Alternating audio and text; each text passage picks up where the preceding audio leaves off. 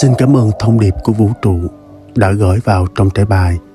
Bạn sẽ kết hôn với người như thế nào? Đây là video chọn tụ bài.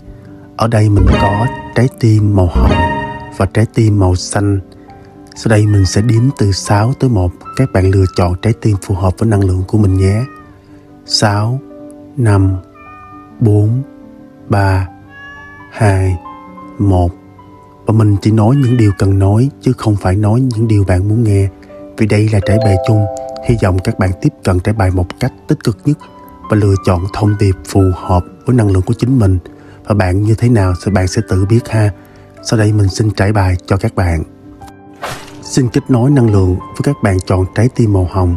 Và trong trải bài, các bạn có lá bài The High Priestess kế tiếp nữa là các bạn có lá bài Tree of One ba gậy và lá bài cuối cùng các bạn có lá bài, The Temperance. Sau đây mình xin giải bài cho các bạn. Lá bài đầu tiên đại diện cho sự mong muốn của bạn về một người bạn muốn kết hôn sau này. Thì cái người mà bạn mong muốn sẽ là một người tĩnh lặng và rất là thông tệ, bất kể giới tính gì và bạn mong muốn một cái người khả năng có thể tự nhiên biết những điều mà họ không thể biết thông qua những phương tiện bình thường tức là một người rất là giỏi lắng nghe, bình lặng và mở lòng với các bạn. Một người mà họ cảm thấy là khi bạn nói cái gì ra, họ thẩm thấu nó. Một người luôn sẵn sàng để mà tiếp chuyện với bạn, đặc biệt là thu hút bởi vì cái vấn đề về tâm linh, trực giác, nhạy bén là một trong những điều bạn mong muốn tìm ở người yêu của mình. Một người bạn kết hôn sau này. Bạn hy vọng tìm một người mà họ biết điều khiển cảm xúc của mình bởi vì khi mà họ điều khiển được cảm xúc, sẽ không có những cơn thịnh nộ hay những lời nói làm tổn thương bạn. Bản thân họ phải hiểu họ là ai, họ muốn gì và cần gì trong mối quan hệ. Một người đại diện cho sự khôn ngoan, nhưng mà ngoài ra họ phải quan tâm đến bạn. Và bằng một cách nào đó, ở bên người này bạn cảm thấy rất là thoải mái, mang một cái bình an thực sự. Trong tiềm thức là mọi vấn đề sẽ được trao đổi, giải quyết một cách nhẹ nhàng và một nội tâm rất là nhạy cảm thấu cảm được cái, những nỗi buồn niềm vui của các bạn trong cuộc sống. Một người chia sẻ thật sự.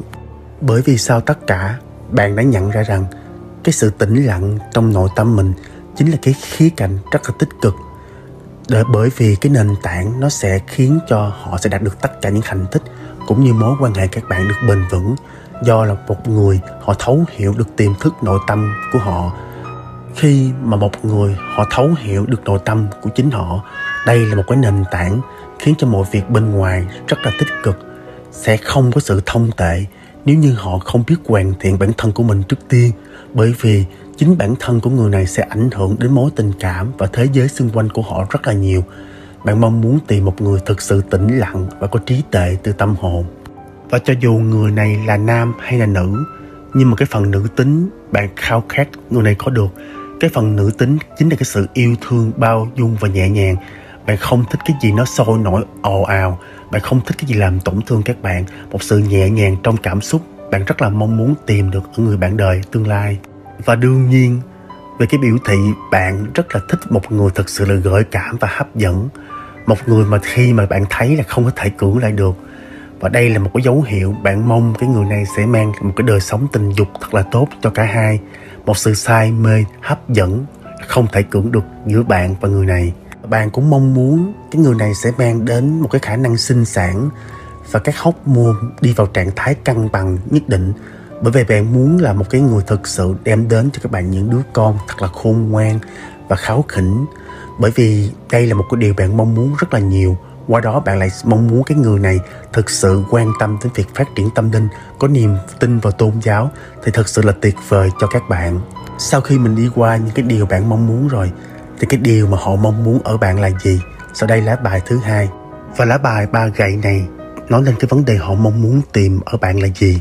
Đó chính là một người mà họ có thể tự hào được, một người có sự sức mạnh rất là tràn đầy, một cái năng lượng tuôn chảy rất là nhiều trong cái bản thân của các bạn. Đây là cái người họ mong muốn tìm được. Ngoài ra, cái người này cũng mong muốn bạn có một cái trạng thái ổn định về mặt cảm xúc. Bạn phải có những kỹ năng, bạn phải có sự nỗ lực trong cuộc sống và có những thành quả và nền tảng trước đó. Tức là bản thân các bạn phải phát triển bản thân của mình, có một cái thành quả nhất định. Bạn phải có một cái gì đó làm nền tảng về sự nghiệp, về tiền tài và kiến thức của mình thật sự cái người này họ muốn một cái người đứng đầu và dẫn dắt và có tầm nhìn cho cuộc sống. Một người biết đưa gia đình sau này đưa tiến lên một cái bước rất là cao, chứ không có phải một người mà bị u, nhu nhược hay là mềm yếu trong cuộc sống. Và đương nhiên họ tìm một cái người, có một cái vai trò quan trọng trong gia đình. Một người không thể đưa ra những quyết định ngắn hạn và vì những lợi ích cá nhân. Tất cả những gì là phải tận dụng cái cơ hội để khiến cho mối quan hệ cả hai tiến lên rất là cao cần một sự giúp đỡ phối hợp tận tình để cho một cái quan hệ thật sự cam kết và bền vững. Và có dấu hiệu hình như các bạn rất là thiếu sự quan tâm đến cái đối phương, những cái người bạn đang quen hồi trước kia. Bởi vì cái cảm xúc là thật nhưng bạn lại không biết thể hiện ra bên ngoài. Do đó bạn cần phải rõ ràng và biết bộc lộ tình cảm một cách thoải mái, cũng như nói rõ cái cảm xúc của mình đối với người đó như thế nào. Thì đây là cái người trong tương lai, họ mong muốn là bạn phải biết biểu lộ cảm xúc mình ra nhiều hơn chứ bạn không có để bỏ lơ những cảm xúc của mình. Và bạn cần phải dành thời gian để quan tâm, chăm sóc và hiểu thơ về đối phương của mình. Bởi vì trong một mối quan hệ lâu dài á, bạn cần phải xác định rõ và định hướng cho mối quan hệ theo tướng, tiến lên nhất có thể. Một mối quan hệ đem từ giá trị, sự thoải mái và yêu thương thực sự do đó bạn cần phải thẳng thắn bày tỏ tình cảm, cũng như đưa ra định hướng của mình để đối phương hiểu rõ về bạn hơn. Chứ không phải mập mờ, bạn không phải làm việc cho qua lo. Hãy tập cho mình tính kiên quyết và phát triển, nói ra cảm xúc của chính mình, suy nghĩ sao mà nói vậy, và đưa ra những cái hoạch định tương lai cho cả hai nha các bạn. Có dấu hiệu là các bạn hình như có sự nghi ngờ về mối quan hệ nếu như bạn bước vào một mối tình với ai bởi vì khi mà bạn không đặt niềm tin vào người đó, thì chắc chắn mối quan hệ này sẽ không bao giờ tiến tới được cam kết. Bởi vì niềm tin bắt buộc phải 100% chỉ 10% các bạn không tin tưởng người yêu mình, chắc chắn mối quan hệ đấy sẽ sụp đổ. Do đó các bạn hãy đừng quá háo hức để mong chờ bước vào mối quan hệ. Khi bạn nhận ra rằng mình chưa thực sự phải quen với việc chăm sóc cũng như đặt niềm tin vào người khác, do đó bạn nên thả lỏng mình ra yêu thương mình trước tiên đi bạn. Khi bạn biết yêu thương mình thì bạn mới biết yêu thương người khác. Nên nhớ, hãy đặt niềm tin 100% nhé các bạn. Và để gặp được cái người bạn kết hôn thì có việc bạn sẽ di chuyển ra nước ngoài hoặc đi du lịch đến các vùng đất ở nước khác để bạn và cái người này có thể cùng nhau di, du lịch hoặc di chuyển cùng nhau. Khi đó bạn sẽ gặp người này. Đây là một cái biểu thị bạn sẽ có một mối quan hệ xa cách, tức là hai bạn sẽ sống ở hai quốc gia khác nhau, ở hai thành phố khác nhau. Do đó các bạn hãy lưu ý nha, bạn sẽ gặp tình yêu mới khi bạn đi du lịch hoặc bắt đầu một mối quan hệ ở xa. Đây là một lá bài biểu thị cho sự tự tin, sải cánh và trải nghiệm cuộc sống. Do đó là các bạn phải biết là bạn sẽ có những mối tình lãng mạn trong những kỳ nghỉ của các bạn nè. Một mối quan hệ xa, một mối quan hệ yêu thương xa là có thật nha các bạn và điều bạn cần phải tập trung nhất trong cái mối quan hệ này để có được tình yêu của người này, cũng như tiến đến kết hôn. Đó chính là các bạn phải tìm kiếm sự cân bằng trong mọi thời điểm. Bởi vì một phần quan trọng trong kinh nghiệm sống của con người, đó chính là tìm kiếm sự hoài hòa và cân bằng. Chỉ khi nào các bạn tìm thấy được sự niềm vui và nhẹ nhõm trong chính bản thân của mình, thì khi đó bạn sẽ biểu hiện ra ngoài, sẽ có những cái thiên thần hộ mệnh sẽ hướng dẫn cho bạn biết những điều này. Khi mà bạn tìm thấy được sự hòa hợp và tận hưởng hạnh phúc, ngay cả khi mà các bạn đối mặt đến những thử thách trong cuộc sống này, những bất như ý, những tổn thương, bạn phải cần phải gấp làm gấp 3 hoặc 4 lần đối với sự bền bỉ và kiên nhẫn và có một tầm nhìn rõ ràng về những gì bạn thực sự muốn. Tức là các bạn phải có một bức tranh về một cái người yêu, người kết hôn bạn muốn. Các bạn làm xuyên làm rõ ra, thí dụ mình muốn cái người đó như thế nào, tính cách như thế nào, học thức như thế nào. Bạn làm xuyên càng làm xuyên càng rõ, thì chắc chắn bạn sẽ được điều bạn mong muốn. Bởi vì cái gì mà chúng ta muốn được, chúng ta phải tạo dựng một cái hình ảnh từ trong ý niệm của mình, từ trong tiềm thức của mình. Cái hình ảnh về người yêu, người bạn muốn kết hôn sau này là ai, xác định thật kỹ và rõ ràng nhất có thể ý khi nào các bạn tìm thấy được sự bình yên và tĩnh lặng và cảm thấy mãn nguyện với những gì bạn có trong cuộc sống này? Một cái tính cách ôn hòa, biết điều khiển cảm xúc của mình, thì khi đó bạn mới thực sự tiếp xúc được cái người bạn cần gặp, một người bạn kết hôn sau này. Khi mà lá bài này xuất hiện, một lá bài rất là tốt cho tình yêu nha các bạn. Nó biểu thị là cái tình cảm, cái kết hôn của bạn sẽ là một mối quan hệ rất là hài hòa, nơi bạn và người ấy sẽ tìm thấy sự cân bằng hoàn hảo trong tình yêu với sự cam kết và tôn trọng. Nó biểu hiện là bạn đã tìm thấy một người bạn tâm giao và tri kỷ thật sự. Và đương nhiên cái người này chỉ xuất hiện khi mà bạn học được cách cân bằng một cái lĩnh vực khác nhau trong cuộc sống để nhường chỗ cho một người bạn yêu thương bước vào cuộc đời của bạn. Một khi bạn làm được điều này, thì bạn sẽ được thu hút được một đối tác rất phù hợp với mình. Và sẽ có hai người xuất hiện và bạn, nếu bạn phân dân giữa hai người á, bởi vì hai người đều có tình cảm với bạn hết, nhưng bạn đừng có cân nhắc nha. Bởi vì bạn cân nhắc hoài thì sẽ mất kiên nhẫn và họ đi luôn á. Bởi vì cái sự thiết quyết đoán của bạn á, bạn phải quyết đoán hơn. Sự thiếu quyết đoán sẽ khiến cho bạn chẳng có ai bên cạnh mình hết á. Do đó, các bạn hãy tìm cân bằng trong mọi thứ trong cuộc sống của mình. Đừng để cho ảnh hưởng đến mục tiêu của các bạn nha các bạn bởi vì khi lá bài này xuất hiện, nó nói là hình như các bạn đang quá chú tâm vào cái thế giới bên ngoài mà quên mất bồi dưỡng cho tinh thần cũng như bản thân của mình. Cho đó các bạn hãy điều chỉnh lại phù hợp hơn để bạn khám phá mình là ai, mình cần gì và muốn gì thì người này mới xuất hiện. Và người này sẽ thuộc vào những cái cung như sau đây nha các bạn. Quả như là bạch dương, sư tử và nhân mã, hoặc là cung cung khí như là song tử, thiên bình và bảo bình nha các bạn và con linh vật đại diện cho trải bài của các bạn, đó chính là con tròn đây là một cái việc bạn phải học theo cái tính cách là bình tĩnh, không sợ hãi và kiên nhẫn. Nếu như bạn biết giữ vững lập trường của mình và tự vệ khi cần thiết, khi mà bạn nhận thức được sức mạnh của chính mình và sử dụng nó một cách khôn ngoan bởi vì bạn sẽ thu hút được mọi người bằng sức mạnh thầm lặng và họ tôn trọng bạn điều đó. Bởi vì bạn biết giá trị của mình ở đâu và bạn cần gì và muốn gì. Và thông điệp tiếp theo của các thiên thần hộ mệnh cho các bạn, đó chính là cái câu chữ hành động. Không có khi nào quá trễ để các bạn có thể hành động. Các bạn bắt đầu tiến tới những cuộc sống ước mơ của mình bằng chính việc hành động ngay từ bây giờ hãy thực hiện nó theo một sự tự tin nhất có thể. Bạn hãy nên biến những giấc mơ thành hiện thực. Hãy tìm người đó đến với cuộc đời của các bạn sau này. Xin cảm ơn các bạn đã xem trải bài. Xin kết nối năng lượng với các bạn đã chọn trái tim kim cương xanh. Trong trải bài, các bạn có những lá bài sau đây.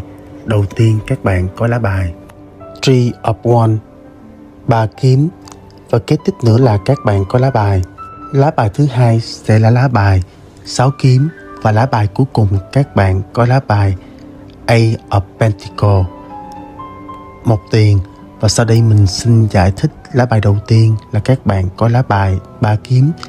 Đây là cái điều đại diện cho cái điều bạn mong muốn ở người kết hôn với bạn sau này, một người chồng, người vợ, tương lai của các bạn. Khi mà lá bài ba kiếm này xuất hiện, nó đại diện cho một cái giai đoạn đầy biến động về mặt tình cảm của các bạn khi mà lá bài được rút ra thì cho thấy là có một lời cảnh báo xảy ra cái khúc quanh trong cuộc sống của các bạn, dẫn đến các bạn gặp những trường hợp rất là đau lòng và tổn thương khi trước. Bởi vì trái tim nó đại diện cho một cái gì đó tốt đẹp trong cuộc sống, tình yêu, lòng trắc ẩn và sự ấm áp. Nhưng các bạn thấy là con mèo nó cắn đi cái trái tim đó, nó đại diện cho sự tổn thương, đau đớn mà mà các bạn đã cảm nhận được khi trải qua những cái giai đoạn trầm trọng của cuộc đời. Một cái sự tiêu cực đột ngột xảy đến cuộc sống của các bạn khiến cho các bạn có một tâm trạng u ám rất là nhiều. Và ở đây các bạn có một số bạn đã chịu đựng cái sự mất mát cũng như phản bội khi lá bài này xuất hiện. Các bạn cảm thấy cái mất mát này nó khiến cho cảm xúc của các bạn đã tuột một cách rất là sâu sắc. Bạn đã dành rất là nhiều thời gian để xử lý chúng bạn thấy là tất cả vấn đề khó khăn cuộc sống đều dạy cho các bạn những cái bài học để các bạn có khả năng phát triển hơn sau này. Bởi khi mà các bạn cho mình cái không gian và thời gian để chữa lành và học hỏi tất cả những cái bài học trước kia từ những trải nghiệm đau khổ các bạn, thì bạn sẽ đứng dậy và tìm đến một cái người nào đó nó khiến cho các bạn cảm thấy là mình sẽ không bị căng thẳng, một người thực sự ở hiện tại không phải một người xa vời đối với tầm tay các bạn nữa. Bạn mong là bạn có thể tìm được một người mà các bạn có thể giao tiếp hoặc tranh luận trong một hành động rất là không có làm tổn thương nhau, không có chữ xe rẻ và xung đột bởi vì dù chăng đi nữa, bạn muốn là giữa bạn và họ phải thấu hiểu thật sự một tình yêu dựa trên một mối quan tâm, có một cái tiếng nói chung thật sự, chứ không phải là bắt động từ những cái tổn thương từ lời nói đến hành động khiến cho các bạn càng đau lòng và muốn rời bỏ mối quan hệ này.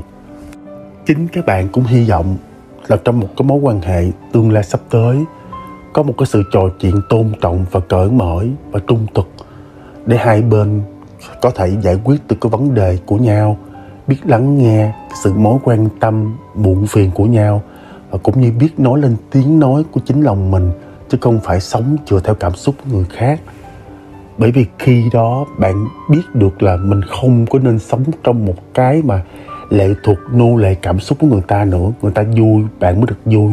Người ta buồn, bạn hãy buồn theo. Đây một cái điều khiến cho bạn cảm thấy rất là mệt mỏi rồi. Bạn cảm thấy là tổn thất về tình cảm khiến cho bạn bế tắc trong cuộc đời này rất là nhiều. Đây là một cái mối quan hệ trước khi đã kết thúc. Nhưng là bạn mong muốn là những cái vấn đề không được lặp lại sau này nhưng mà chỉ khi nào các bạn tìm được một cái đối tác mà giữa bạn và họ thực sự cởi mở và trung thực về cảm xúc, cảm giác của cả hai, biết tôn trọng và lắng nghe nhau, giảm bớt những tranh luận, những bình luận khó chịu hoặc chỉ trích. Bởi vì bạn biết rằng những cái chỉ trích trên, những cái phê phán đó sẽ khiến cho tình hình trở nên tồi tệ khi mà thôi. Và kế tiếp nữa là bạn mong muốn là cái hạnh phúc này phải tạo nên cái điều đơn giản nhất tạo nên từ cái sự giao tiếp giữa bạn và người đó để không khiến cho cả hai có những hiểu lầm nghiêm trọng bởi vì không nói lên cảm xúc của nhau. Ở bên cạnh nhau mà cô đơn trong cả mối tình của hai, cả hai luôn, dẫn đến những cái việc đau buồn là chia tay không cần thiết. Và bạn muốn cái người này thực sự là một lòng một dạ với các bạn. Về không muốn một cái người nào đó tham gia nữa bởi vì có sự ra đi của người này do cái người thứ ba xuất hiện bạn hy vọng là tìm một một người không có lừa dối, thực sự chung thủy. Bởi vì bạn rất là sợ biến động, rất là sợ cái gì phản bội. Bạn sợ lắm. Bạn bị một lần rồi, bạn sợ bạn té ngã thêm một lần nữa. Với bạn, cái vấn đề tài chính nó không quan trọng. Quan trọng bạn tìm được một người mà thực sự lạc quan, một người biết quan tâm, chia sẻ, một người không phản bội bạn, một người biết thấu hiểu và cũng như có thể giao tiếp, trò chuyện với các bạn bởi vì bạn sợ lắm rồi, bạn rất là sợ những cái mối quan hệ mà chồng chú vợ tôi hoặc là một cái người vợ hấp dịch trong tương lai, bạn không cần gì nữa.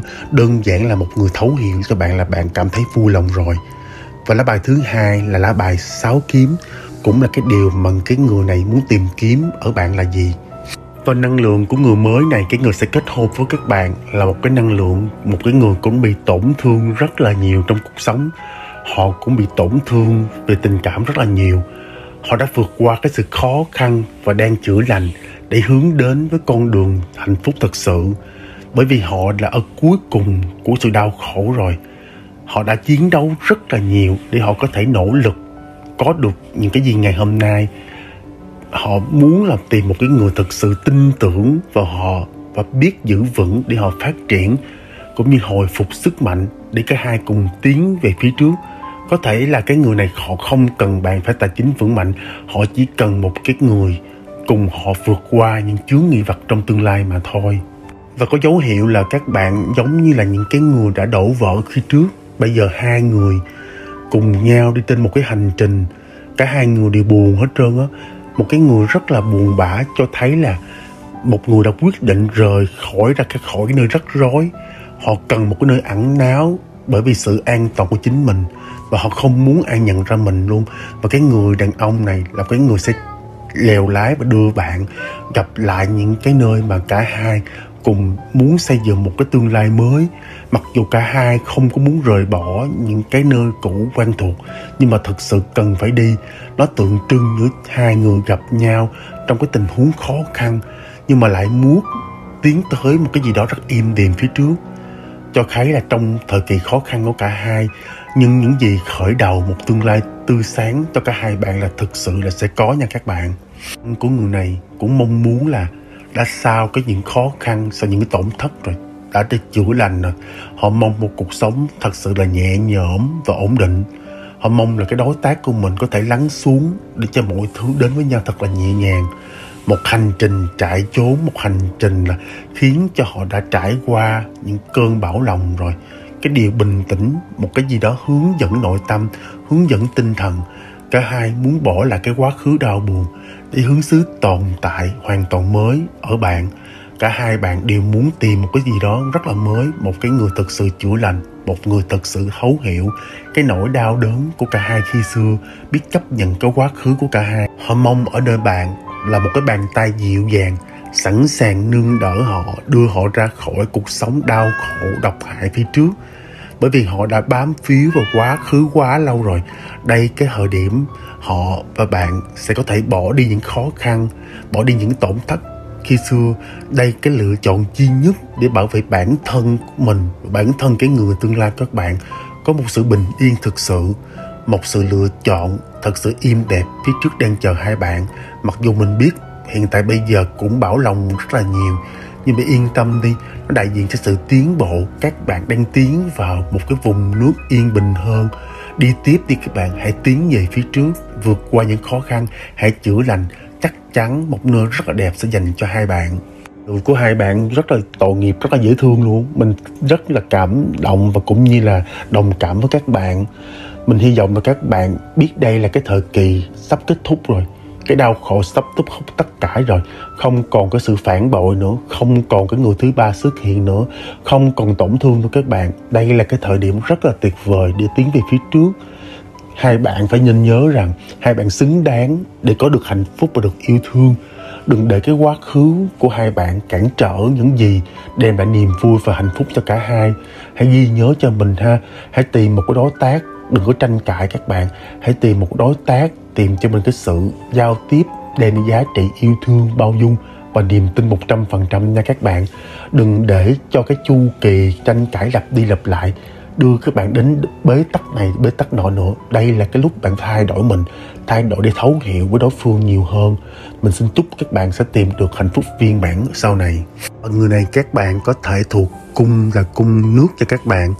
Tự giải bồ cạp và sông ngư, một cung cái tình cảm rất là sâu sắc có cung khí như là bảo bình bình và song tử, một cung rất là linh hoạt về tri thức.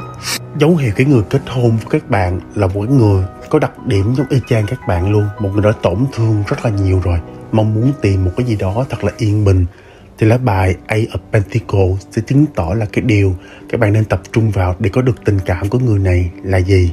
Các bạn có lá bài một tiền. Sự trong trái bài về tình yêu, khi xuất hiện lá bài này bạn là một người may mắn. Giống là một bàn tay, một cái vận may sẽ khiến cho bạn có một cái khởi đầu rất là mới. Một sự kết nối về thế giới vật chất, một con ác chủ bài đại diện cho sự thịnh vượng chung và cơ hội mới trong mọi lĩnh vực của cuộc sống. Một lắc bài rất là tốt, một cái kết rất là đẹp cho cả hai bạn. Bởi vì nó đại diện cho sự khởi đầu mới và thịnh vượng một lá bài rất tốt báo hiệu là các bạn sẽ bắt đầu một cái gì đó rất là mới, tích cực cho bản thân bạn và người này. Do đó mình hy vọng bạn và cái người bạn sẽ kết hôn á, sẽ cảm thấy lạc quan. Bởi vì nang đến cho bạn một cái năng lượng rất là tích cực, một cảm hứng mới, một năng lượng mới rất là thú vị. Hy vọng là các bạn sẽ cùng nhau tiến đến một vùng đất mới, xây dựng một hạnh phúc mới, bỏ quên lại những cái khó khăn tổn thương như xưa nha các bạn một cái sự ổn định sẽ sẵn sàng chờ đón các bạn phía trước. Mọi ước mơ của các bạn sẽ thành hiện thực để bạn đạt được cái mục tiêu này, các bạn phải nhận ra là giá trị của bản thân mình, biết tiềm năng của mình, biết mình cần gì và muốn gì. Hãy nhớ là bạn có sẵn cái nội lực trong mình rồi. Do đó bạn hãy sẵn sàng thử thách. Những cái thử thách kế tiếp sẽ là không vấn đề gì hết. Bạn sẽ vượt qua được hết tất cả mọi việc và bạn sẽ gặp một cái trái tim tan vỡ giống các bạn đó, thông qua công việc hay là kinh doanh. Thì cái người mới này là một cái đang là cho bạn cảm giác an toàn và ổn định nè. Và họ sẽ là cái chỗ vừa cho các bạn rất là nhiều trong cuộc sống bởi vì họ cũng có một cái quá khứ đau buồn giống với bạn. Đó hai bạn sẽ dựa nhau và sống ha. Một cái sự ổn định một cái sự an toàn trong mối quan hệ sẽ xuất hiện. Một cảm giác an toàn bởi vì cả hai bạn đã hiểu, biết yêu thương bản thân của mình, biết giá trị bản thân của mình là gì rồi, biết yêu là thế nào rồi. Bởi vì khi mà ta đau khổ trong tình yêu, ta thất bại, chúng ta lại có bài học của nó. Hay cả ba hai bạn biết làm thế nào để cho tình yêu của hai bạn được thăng hoa. Một cảm giác rất là hào hứng về một cái mối quan hệ thực sự xảy ra cho hai bạn. Một sự xuất hiện, một mối quan hệ vững chắc và an toàn hoàn toàn sẽ xảy ra trong tương lai cho hai bạn. Vấn đề ở đây là các bạn phải nhìn nhận được những cái thứ mình có được, biết cái sự thật mình cần phải làm gì, và gắn bản thân mình với những cái bài học mình học khi xưa, chấp nhận buông bỏ cái quá khứ và chấp nhận dựa lấy những cái gì mình đang có để phát huy nhiều hơn. Các bạn sẽ được nỗ lực đền đáp với các bạn. Bạn sẽ thu hoạch được những cái gì bạn ước muốn, một sự tận hưởng, một sự liên kết rất là lớn bởi vì khi mà các bạn biết đặt niềm tin vào người khác, bạn thấy được sự an toàn, và khi đó bạn sẽ được bảo vệ từ người này. Các bạn sẽ có một cái người hỗ trợ bạn rất là nhiều, một cái nền tảng rất là vững chắc. Bởi vì khi mà bạn thấu hiểu được rằng nội tâm của bạn chính là cái phản ánh ra thế giới bên ngoài, bạn bất ổn trong phần nội tâm, thì nhất định thế giới bên ngoài bạn cũng sẽ bất ổn y chang vậy luôn do đó hãy thấu hiểu nội tâm và kiên trì điều khiển cảm xúc các bạn nha các bạn. Nhớ hãy suy nghĩ tích cực ha, yêu thương bản thân nhiều hơn. Hãy sẵn sàng và hãy tận hưởng niềm vui. Đây là lúc bạn bước ra ngoài để gặp gỡ người này trong môi trường công việc và làm ăn ha. Xin chúc các bạn tìm sớm người này một đối tác thật sự hoàn hảo cho các bạn. Ở ngay tại thời điểm này, một cái mối quan hệ cam kết kết hôn rất là đẹp sẽ diễn ra. Xin chúc mừng các bạn. Và biểu tượng của con chim sandpiper là gì? Đây là một con đại diện cho các bạn hãy tham gia vào cuộc trò chơi của cuộc sống. Đây là cái thời điểm bạn phải bám sát với thực tế và tận hưởng cuộc sống hiện tại của các bạn. Bởi vì bạn sẽ có gặp một người này trong môi trường về nước. Nước đại diện cho cảm xúc của bạn. Bạn hãy tìm kiếm một cái nền tảng khi bạn có sức khỏe về tinh thần bởi vì bạn thực sự thoải mái, bạn thực sự vui chơi, thì bạch mã hoàng tử hay công chúa bạn sẽ xuất hiện. Hãy nhớ ha, hãy tìm kiếm cái nền tảng cho sức khỏe tinh thần của mình. Hãy vui chơi hơn tận hưởng cuộc sống này, tận hưởng ở hiện tại. Quá khứ đã qua đi rồi các bạn, tương lai chưa tới. Tại sao các bạn không nắm bắt ở hiện tại của mình? Hãy làm tốt nhất những gì mình đang có, nha các bạn. Kế tiếp là thông điệp của đội bảo hộ. Linh hồn các bạn là gì? Cái sự giận dữ các bạn sẽ biến cái sự giận dữ các bạn thành một cái gì đó rất là an toàn. Hãy điều khiển cảm xúc của chính mình. Sử dụng nó như là một cái nguồn năng lượng tích cực để khiến cho bạn đạt được mọi thứ trong cuộc sống này. Hãy thành thật với chính cảm xúc của mình. Khi đó các bạn sẽ đạt được tất cả mọi thứ. Hãy yêu thương mình nhiều hơn các bạn. Bởi vì yêu thương mình mới là hạnh phúc. Nha các bạn, hãy ghi nhớ điều này. Xin cảm ơn các bạn đã xem trải bài.